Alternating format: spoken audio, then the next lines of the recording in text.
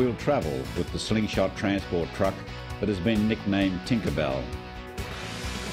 We'll look at an ever-growing collection of Mack trucks in central Queensland, now housed in a museum-style building and is perhaps the biggest collection of beautifully restored vintage bulldogs in the southern hemisphere. We'll go back into history and hear about the old times of trucks and mining at Mount Morgan. And we'll steer straight from history to the present day and drive halfway across the country in a new cat truck with a road train rating. I'm Bruce Honeywill. I write, I drive trucks, I make films. You meet up with mates in strange places in this trucking game. Erldunda is a fly speck on the map, a roadhouse on the Old South Road or the Stuart Highway. And that's where this story begins. It's always good to catch up with an old mate. Seat stiff and bandy legged, Lindsay Davies climbs down from the cab. We've been mates a long time, him and me. Doesn't matter how we ended up in a place like Erldunda at the same time, but these things happen. 16 tonne of salt that come from Price in South Australia. There's two gyrocopters that I picked up at Downing's place in Jamestown. And there's three bags of spuds, two bags of onions for a mate of mine. And we've got a tyre changer up the top so the boys don't have to bust their guts. And down the back they've got a new shed for the kids to put up on the station. And the two dongers down the back are for the gas plant in Darwin.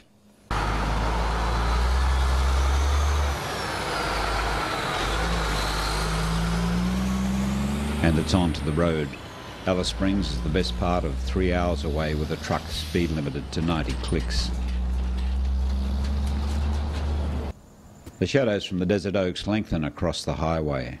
The desert can be a beautiful place, and these desert oaks can be its crowning glory.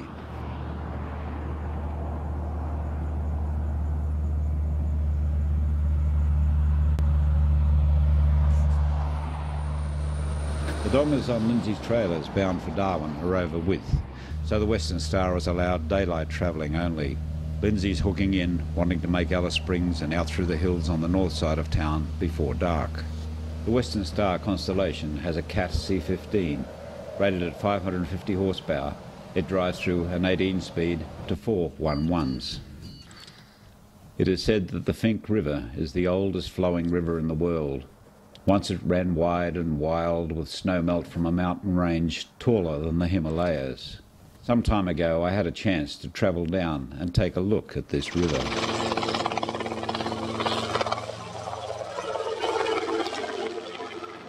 Cattle stations cling to its banks, surviving on the water that is often beneath the sand. Stations like Horseshoe Bend. Big areas eking out an existence from the desert. Flying down the river, you sense its former glory, can imagine it cutting its way through the landscape to some great inland sea in Gondwana land. Today, it floods out in the Simpson Desert. Those great snow-capped ranges have eroded down to the beautiful Macdonnell Ranges of today. And now it's rare to see the Finke flow. And as we cross this old river, it's dry.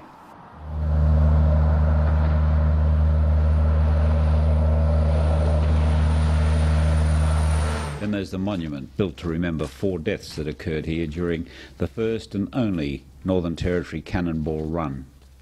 In 1994, with the support of the then Territory government, the folly of a road race was set up from Darwin to Uluru and return. Tragedy crashed the event when an out-of-control Ferrari driven by a Japanese team plunged into a checkpoint here, killing two race officials and the car's driver navigation team. After the tragedy, a 150 kilometres an hour limit was put on the race, and there are many stories of locals overtaking the race competitors, as at that time there was no speed limit on the open highway in the territory.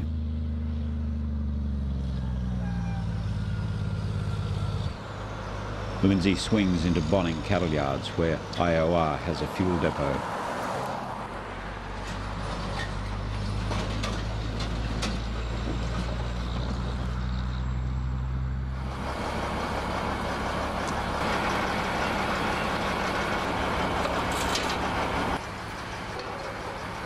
1100 litres of diesel would go into the tanks. That's 1100 litres to travel 1200 kilometres.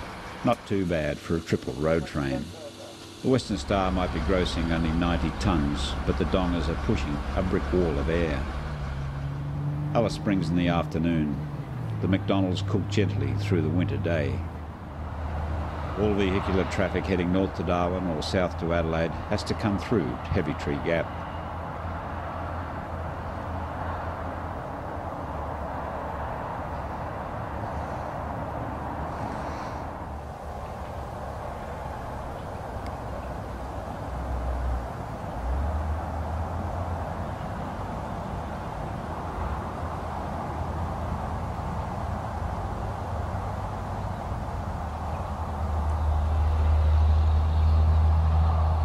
Through Alice Springs, Lindsay heads through the hills, heading north in the last light of day.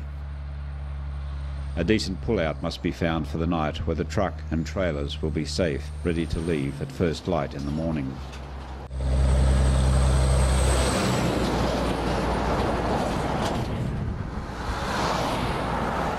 The night camp is at the pullout near the monument, the place that marks the highest point on the Stuart Highway, 2,300 feet above sea level. I'm going to pull up here because it's dark. Not allowed to travel in the dark. You've got to get going at daylight. So that's Over what, width? roll up the swag. Yeah, right. No, no, I'll sleep in the swag. You're near too cold outside. Proper soft fella.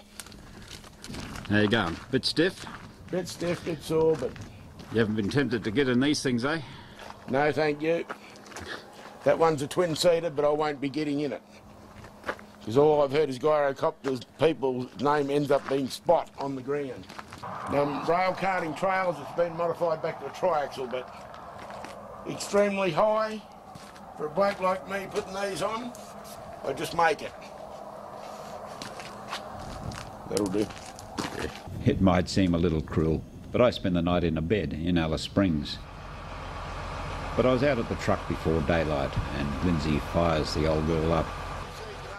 The thermometer on my hire car reckons it's one degree. It's a bit chilly, all right. I got my thongs on, I got my Darwin clobber. And so, with air pumped up, we head north once more.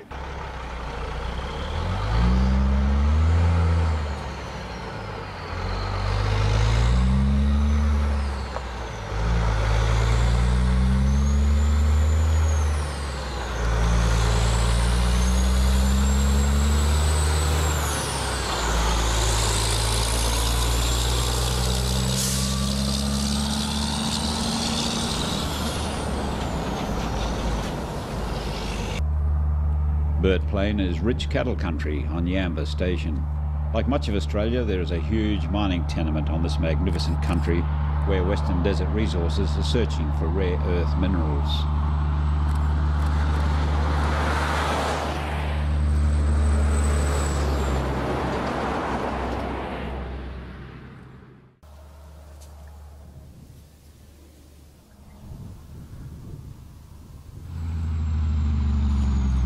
Grab a couple of photos at the turn in for Aileron Roadhouse. Well, I do have a magazine to fill.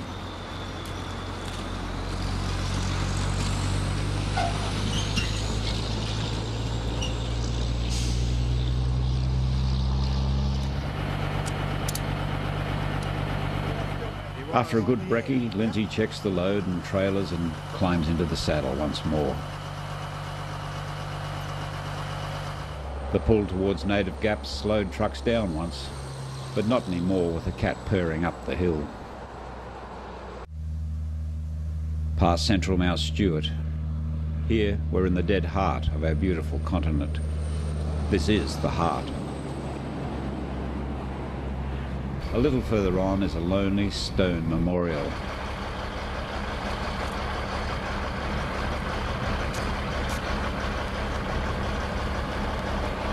This is the Teamsters Memorial where Charlie Chambers lost his life in 1871. He was on the survey party for the OT line, which they built. A, it was only a few years after John McGill Stuart surveyed the way through. And he was probably the first transport operator to die in the Northern Territory. So It's road transport. That, that's the glue that holds the territory together, eh? And we've lost a few. We've lost plenty over the years. Yeah, we sure have. You forget about them, but they're all there. You can see their crosses all over the territory.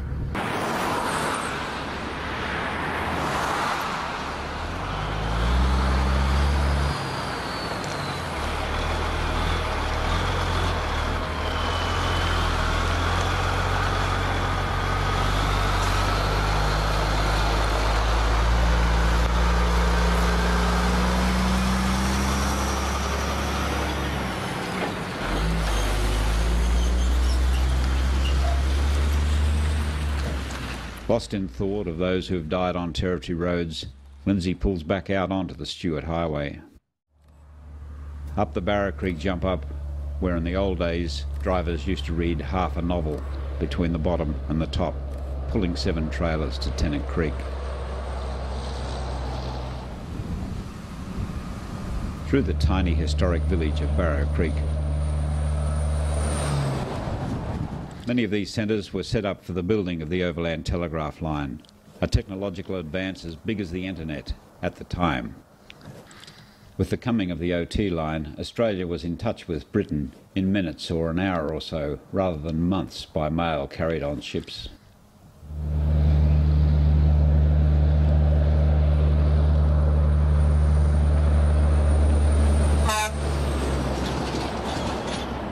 Time is getting closer. I'll have to leave my old mate and I have to punch ahead to Darwin.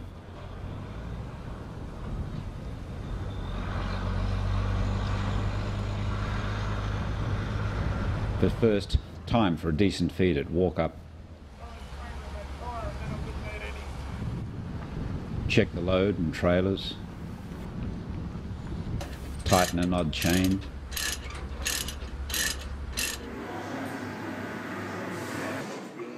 And a fairly impressive Wauchope mixed grill.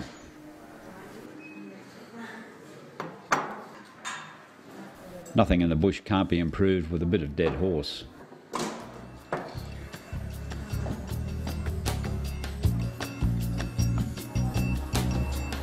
Time to part, and Lindsay heads out into the glare of the afternoon. I have places to be, people to see.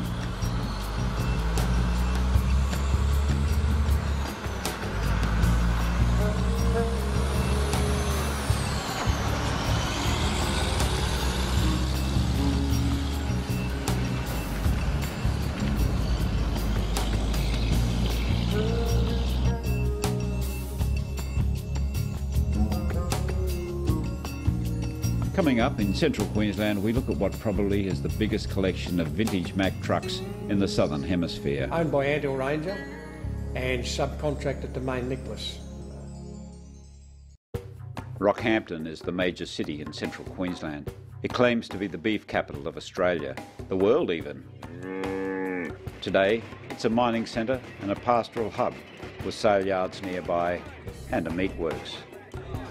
Here, a bloke called Tony Champion calls the place home. Tony turns up in the magazines and media showing off his trucks at every dogfight in eastern Australia. And dogfight it could be. Every one of Tony Champion's trucks has a dog on the bonnet. But Tony has just opened a brand spanking new building to house and exhibit his loves. I went there with Truckin' Life's heritage writer, Barry Harmsworth. So what's going on here, Tony? You've got the collection together at last? Yeah, well, we're finally uh, finally in the new shed here, Barry. Uh, we've had a, a, lot of these things have been scattered all over the main workshop for the last three or four years, but um, this is a purpose-built uh, building to put all these old Macks together, and it's nice to see them in here uh, with no dust on them. After some of them have been here a month now, they look nice and clean. None of the old British trucks around here. No, well, I guess that started uh, when I should have been at school, I was uh, learning to change gears in a Mack from the passenger seat. and, uh, and that was in the timber industry in Tasmania. I bought an R700 to haul our equipment around with, and then uh, that led to a first new superliner back in 1982. And then uh, 25 years in the mining industry. Mm. Um, someone said, what are you going to do? Sit on the beach? I said, no, I'm going over. I'll go over the coast and restore a B model. Still one. And that's how it started. uh, Just, Yeah. just, just one B model we had. The purpose of uh, the, the Mack collection, uh, well, initially, as I said, it was for uh, for B models, which exactly. they they were the backbone of Australia. But then I saw there was a, I got interested in some models that no one had ever seen, only pictures of them. Thought, Exactly. Yeah. They're in our reach, and we've had a lot of things in our favour actually. Um, Aussie dollar's good for importing. Chain drive, well, quite simple actually. Instead of the differential and uh, rear axle being right at the back, uh, as you can see there, the uh, that's the differential and axle there with a sprocket on it, and, uh, and it's a uh, it's a light uh, back axle, just as, as a solid steel bar, and. One of the advantages that I'm told is that they could change the ratio beside the road to get up a big hill. This truck's left-hand drive. This is a, this is a replica of the two trucks that came to Australia. Uh, and but this truck is right down to the number plate, original replica as, as, as a truck. It was absolutely. That's right, Barry. You, you, you were here the day this came. Yeah. And, uh, and the reason that we got that truck is because they didn't think in America it could be brought back. So Just that made us all the more determined. And uh, yeah, no, it's, uh, we, we did. We, Just, yeah, that's right. Just there were days when we wondered what we had done, but when Yeah. you see it there like that, it's uh, it's been well worthwhile. And consequently, now we have something that uh, is unique. The only one left in the world. That's right. It is unique. There was only two bogey drive B61s that I know of that came to this country, and Antill Ranger had both of them. Uh, Ken Archer had a integrated sleeper with a single drive, and he subbed it to Antill Ranger as well. But uh, this, uh, this this particular truck uh, was um, operated by Barry Sky and Bill Walsh um, for Antill Ranger, and you see their names on the on the fuel tank there. Yeah, legendary drivers. They certainly were. I've noticed you've got one of the bicentennials here, Tony, and uh, it's the Kingsford Smith. Kingsford Smith, yeah, uh, one of 16. Uh, be- become an icon now. Um, probably Australia's most collectible truck, I guess, a bicentennial. Definitely. And as you can see, when they're polished and washed and, and sitting here under the lights, they, they are magnificent. They still are magnificent. First, um, first Australian truck to have cruise control. First Australian truck to have um, uh, television in the cab, sleeper. They, they came standard with a refrigerator. And in '88, that that was a pretty special truck. Yeah, if you if you if you had the privilege of driving one of these. Your chance to do a customised truck as opposed to an exact reproduction as normal. After all the years of looking for uh, glass lenses for clearance lights, uh, colour matches, uh, the correct bonnet latches, virtually every nut and bolt original in a B61, uh, we decided we'd let our hair down and we'd, we'd make a Mack truck for ourselves. And that's what we've done here. It's just magnificent in the sun.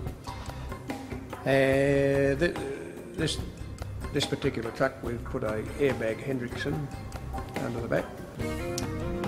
Uh, it's got a Peterbilt sleeper. We've got a 18-speed Eaton.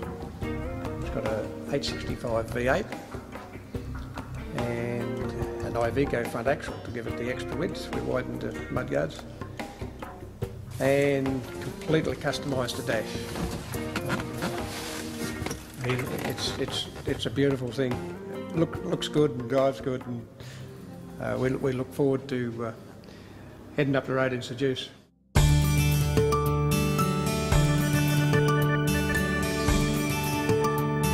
Not far from Rockhampton is Mount Morgan.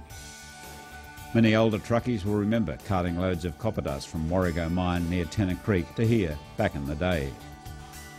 Now, Ken Reid is no ordinary fella. Retired now, he has many interests, like his train set that grew into a house eating monster. Ken Reid spent 32 years working at Mount Morgan Mine. He's an active historian of those days and has some rare archival footage of life in the mine.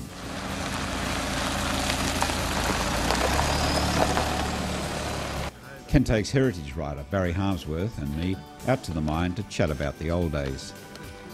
It's hard to take in here with the pit full of water, the life that used to go on.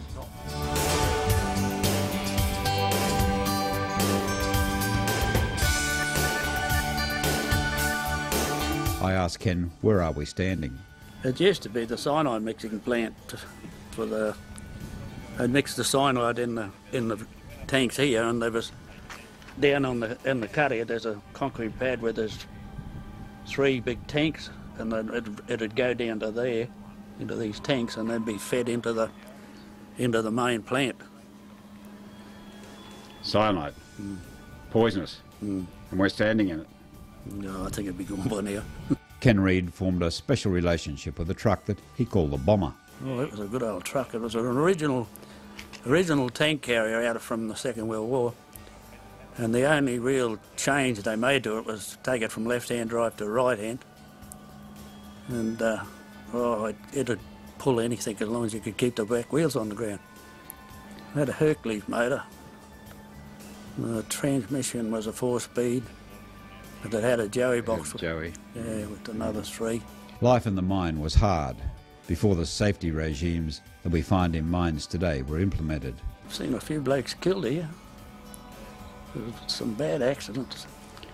How did they happen? Oh, there was a rod mill at Two Mill, and there's a, the blokes go in to, to straighten the rods up after they're loaded in there. And uh, I, won't, I won't mention names, but the supervisor come along and pushed the pushed the buttons, thinking it should be going, and there was still one bloke in, left in there, and God. it turned one and a half times. And when they pulled him out, he never had a bone left in his in his body.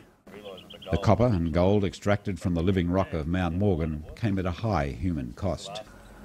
There's been a few trucks go over the dumps and that, but I was never in them, thank goodness. Millions and millions of dollars worth of metal was pulled from these hills. I know there's 14 tonne of gold come out of the tailings when they did put the tailings back through. 14 tonnes of gold. That's half a million ounces worth at today's rate, $800 million. And that was just from the tailings dam. In the 70s and 80s, problems had to be sorted out as they arose, like getting this power shovel to a lower level in the open cut pit. It's hooked up by cables and pulleys and a lot of hard work and pushed over the edge. And down it goes till it reaches its final level. Ken Reid is active with his many interests, but he is vitally interested in preserving the stories when Mount Morgan Mine was king of the mountain.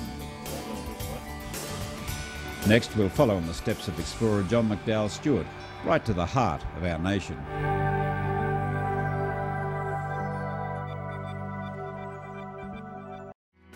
Explorer John McDouall Stuart, after six attempts, crossed the country from the south to north. Driving up the Stuart Highway today on this fine seal two-laner, you look out across a beautiful but desolate landscape.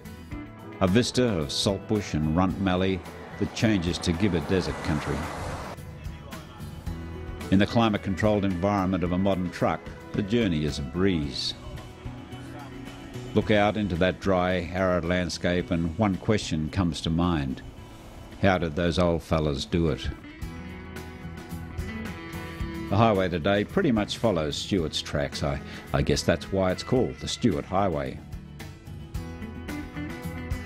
This trip started out and ended as a road test of the latest Cat truck, the CT630 LS. The LS stands for Luxury Sleeper. It's powered by the Cat C15 engine, now upgraded to meet ADR 8003 or Euro 5 standards, more or less. With the truck fueled up, I wheel it out of a servo at Bolivar on Adelaide's northern side. On the 23rd of October in 1861, Stuart and his men left from a place near here and punched out through South Australia's pastoral lands. In 2012, we swing along, northbound with Adelaide Sunday traffic on the undulating pools through the green expanses of South Australia's winter broadacre crops. The CT 630 LS was launched at the Melbourne Truck Show earlier this year, impressive in its carbon fibre cladding.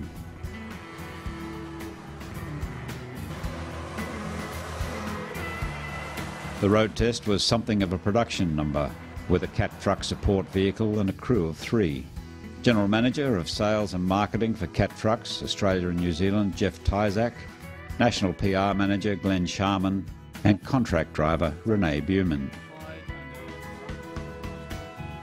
At a truck stop, CAT Trucks head honcho Jeff Tyzak had a chance to tell me a bit about the truck. Started life as one of the ADR 80/02, two vehicles we built back in 2010 and um, we decided that um, we wanted to to work, put some work into a, a, a big luxury sleeper, the CT630 LS. So our local engineers, we, we basically took one of our ADR Radio 2 trucks and uh, we lifted the cab off and we've got the, the, the new cab, the, the LS cabin, and we've dropped it on top of the, the frame. We've done all the, the chassis work required for that. And at the same time, we've um, done all the um, conversions for the ADR 80/03 engine.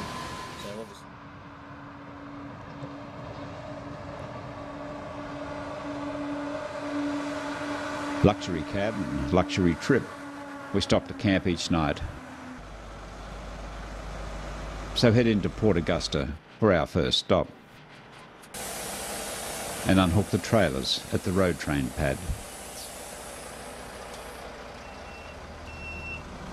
Before daylight, we hook the trailers up once more. And with the pre-trip check completed, Uh, today we're driving to Coober uh, a Midland day, not too far, not too short. Uh, it's going to be a good day for the 630. Try yourself out and the double operation. So nothing left to do but uh, get on the road.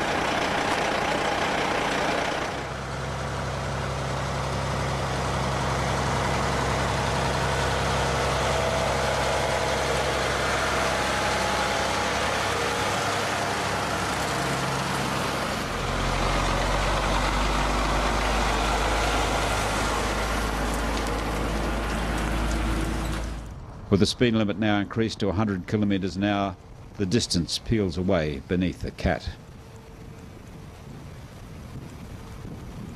As most people know, Caterpillar pulled their engines off the automotive or truck market some years ago. This led to an Australian joint venture between Caterpillar and US truck builder Navistar. But things have changed there too over the past year. NC Squared uh, obviously was initially set up as a, a joint venture, so 50% owned by Caterpillar and 50% owned by Navistar.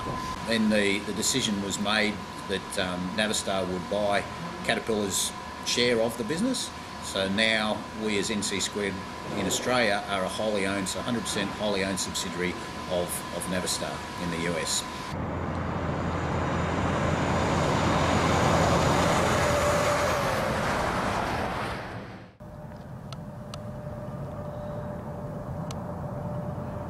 The double bite of the Pimba Hills are probably the steepest pulls on the South Road.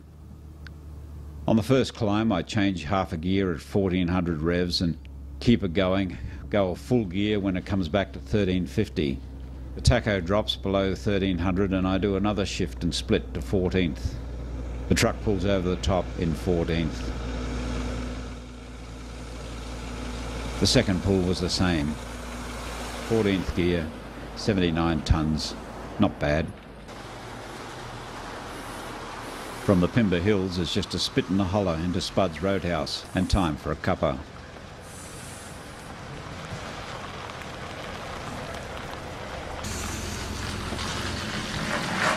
So we're at Pimba. We've just had a 150, 160k run up from Port Augusta, and uh, I got, I got to say uh, at, at the outset, it's a it's a damn nice little truck to drive. How's the morning going? and a nice coffee. Beautiful, beautiful sunshine, good company, good people, good country, lovely. a good truck as well. and he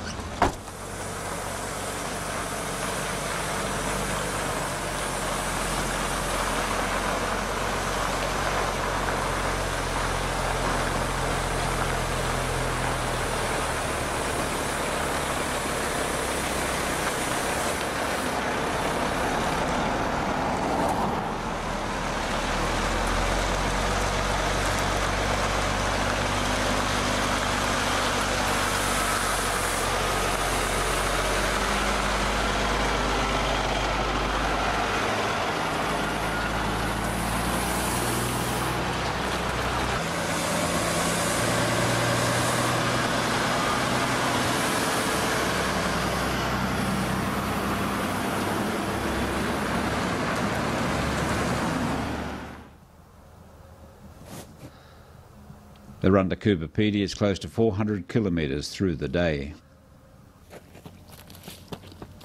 Still winter officially, but the day warms and the desert sky is chromed with a white glare, an early hint of a fast approaching summer.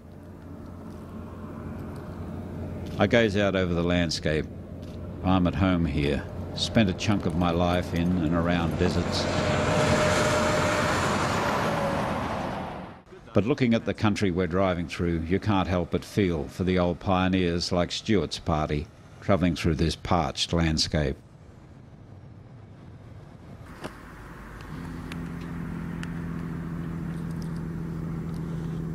The sun dips towards the horizon as I turn the road train into Coober Pedy.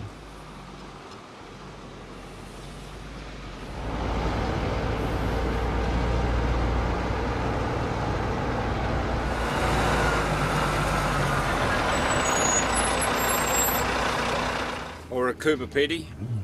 Half a day's work, I suppose. 550 kilometres since we left Port Augusta this morning. And uh, yeah, yeah, interesting day.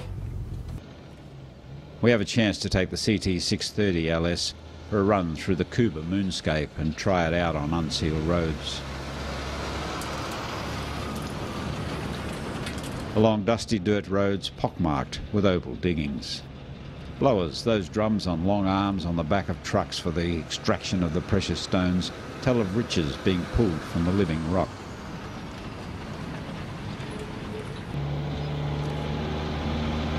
Pulling two trailers, the LS was at home in this strange place, where holes had been dug over and over, chasing elusive wealth and the chance of striking it big.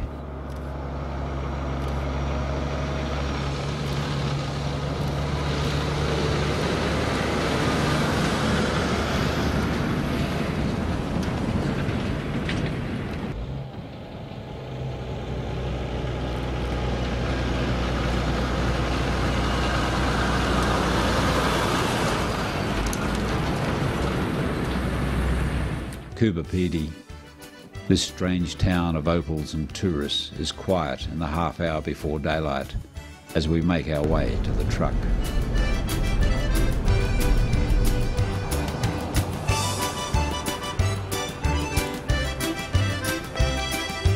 So we're in Coober Pedy, heading for Alice Springs today. It's a bit chilly down here.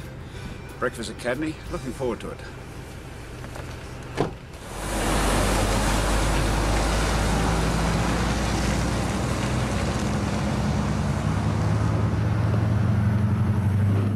Many visitors to this outback landscape see, well, nothing, or so they say. To me, the country is forever changing, and again, north of Coober, it's almost on fire in the morning sun. We're, we're driving through a, an amazing Australian landscape. It's uh, just to be driving through this is uh, so. It's like a massage on your brain just to be out here. A cold morning on the road makes you hungry, probably for the wrong kind of food. So we stop at Cadney Roadhouse on Mount Willoughby Station. And with the Cat Trucks crew, we sample the best. Scrambled eggs. I think that's Yeah.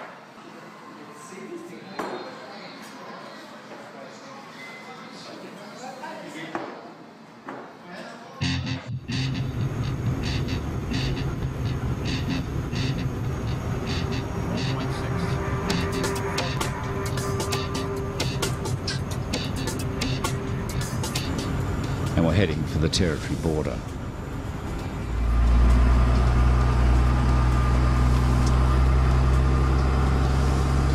And now,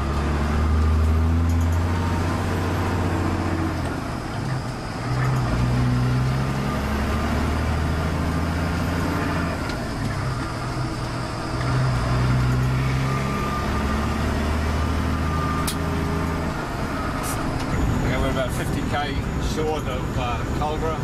We're very close to the territory border now, and uh, just up to cruising speed.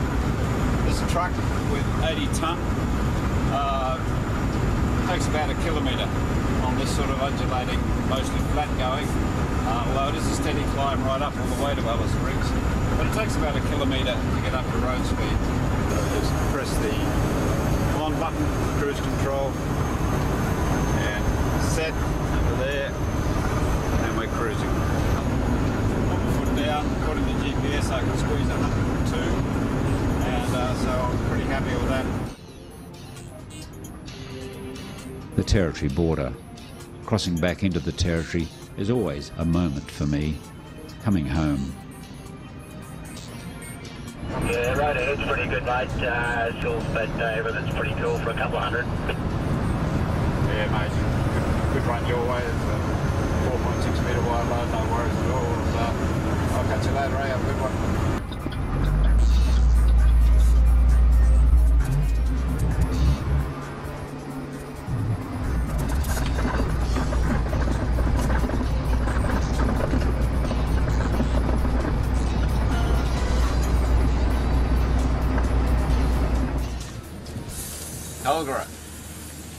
Lunchtime. Feels like we just had breakfast. Anyway, we'll have a look. Renee Buman is a contract driver working on a freelance basis with Cat Trucks, steering trucks around Australia, getting equipment to shows and events, and most recently shuttling the Cat Road train back and forth for media test drives between Alice Springs and Adelaide. He's pretty proud of how the CT630 is set up. It's very easy to lift. So is it sprung? It's got a gas strut in there. And when we look under the bonnet here, the motor looks like it's behind a few, you know, ancillary bits of ancillary equipment, but this guard here comes off, just a couple of bolts, and the whole thing comes out, and you can walk in and access the motor. Underneath the, this air filter is the new emission control system where the uh, the breather goes back into the sump. That's one of the things we had to do to meet the new ADR uh, 80/03 emission standard. Everything's really accessible here. The dipstick's right there.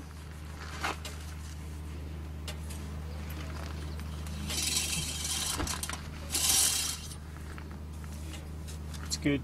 We can also see the air filter ma- marker on the front of the air filter, oil filler, all your things you need to check, water coolant, wiper fluid, etc., clutch fluid, it's all very accessible. And again, this side, a couple of bolts, this whole guard comes off and you can walk in and service the engine.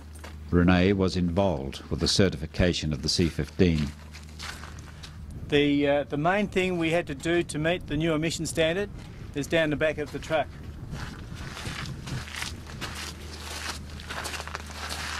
We've gone from a single exhaust system to a dual exhaust system to allow the truck to breathe, the truck engine to breathe a little more. Then we've stuck a couple of DPFs, particulate filters, in that exhaust system. They catch the soot and the soot is burnt off just by the exhaust temperature of the coming down from the engine. So it's a very simple system. There's no EGR, there's no SCR, there's no replacement of DPFs for the life of the engine. It's just a very simple put the key in and drive emission standard engine. I cruised past Erldunda. It was only a couple of weeks ago I met my old mate Lindsay here. Through the desert oaks.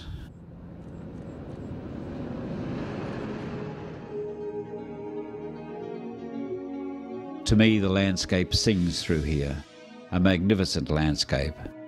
And it is a fine thing to think that, other than a thin strip of bitumen running through it, we can look out on a vista that has remained the same for perhaps thousands of years.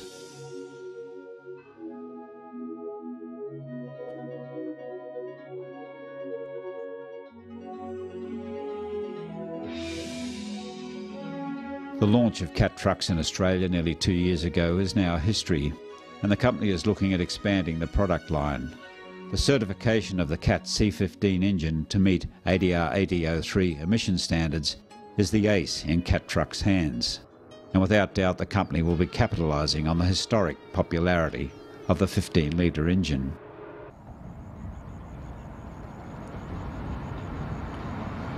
Across the Finke River. There's a bit of roadwork happening throughout the territory. Truck parking bays are being put in there's a concern that these rest areas are heralding the imposition of logbooks for territory truckies.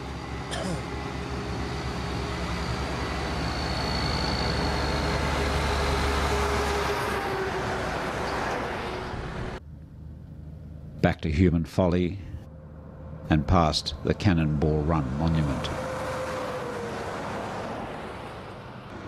We run into the outliers of the MacDonnell Ranges, through low hills and sweeping bends. And into Alice Springs, the end of the South Road, as we swing onto the road between the airport and town.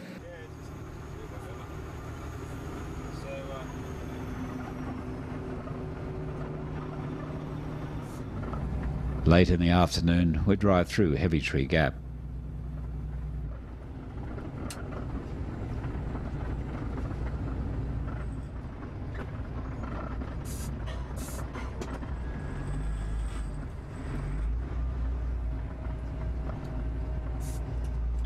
Around the roundabout.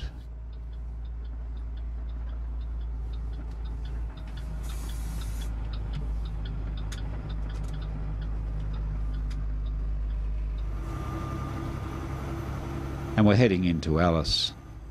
And traffic. And traffic lights.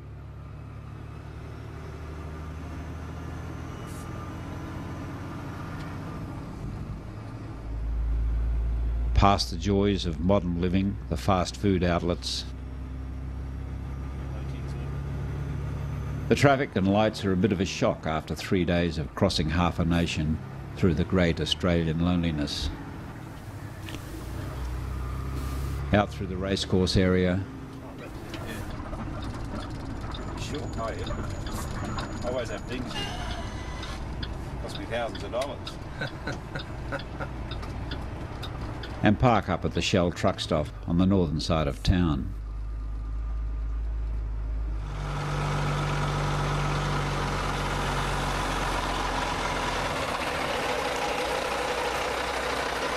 We fuel up and the cat truck drinks 1100 litres of diesel and has brought us 1,515 kilometres. I drop the keys into Renee's hands. Great trip he has to run the truck back to Melbourne, where apparently it will be pulled to pieces and analysed. The CT630LS was a prototype, and the Cat Trucks team is keen on making it right. For me, I'd have been very happy to keep going all the way to Darwin, as Stuart did on his sixth attempt. Today, a score or more of trucks leave Adelaide every day heading north along the Stuart Highway, following the tracks of Stuart.